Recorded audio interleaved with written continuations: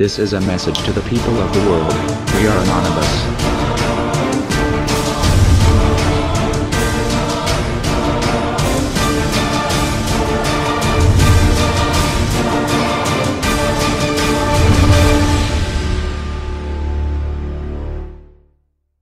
Hello. As of today it seems we are forced to fight propaganda with propaganda.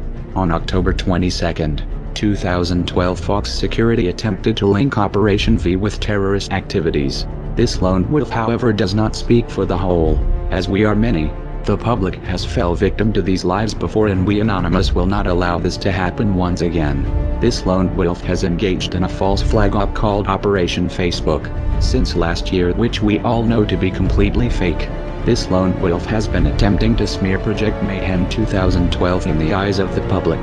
Be wary, this is a crucial year for the world in Anonymous, which government agencies have also taken notice. This is a reminder, do not lose sight. Anonymous stands for freedom and peace. For what this idea represents, governments have, and will, fear it, but ideas are bulletproof.